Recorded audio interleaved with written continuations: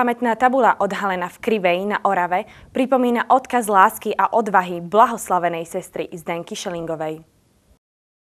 Zdenka Šelingová je prvou blahoslavenou ženou v našich novodobých dejinách. Vo svojom živote sa odhodlala k odvážnym skutkom, ktorými vyjadrila odpor voči nespravodlivému násiliu. V obci Krivá sa konalo slávnostné odhalenie a posvetenie pamätnej tabule, ktorá pripomína jej odkaz pre dnešok. Dneska sme odhalili pamätnú tabuľu sestre Zdenke, ktorá trpela veľmi vo vezení, položila svoj život za našu slobodu, za vieru, za svoju lásku k ľuďom a k Bohu. Na slávnostnom programe sa zúčastnili predstavitelia Konfederácie politických väzňov Slovenska, duchovní otcovia, milosrdné sestry a ďalší hostia.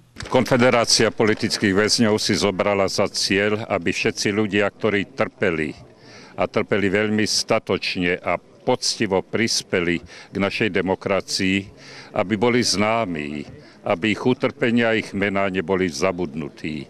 Po odhalení tabule duchovný program pokračoval ďalej. Program e, odhalenia pamätnej tabule bol otvorenie, otvoril ho starosta obce e, Peter Žubek, potom nasledovali slavnostné príhovory. Veľkosti lásky, utrpenia a odvahy nesú svoje posolstvo pre všetky generácie. Je to veľká slávnosť, je to veľká pamiatka, veľká, ja myslím, pre každého. Aby sme si vážili dedictvo e, viery, ktoré máme od rodičov, aby sme aby sme si to zachovali, lebo to je úžasný dar pre národ a pre každú rodinu.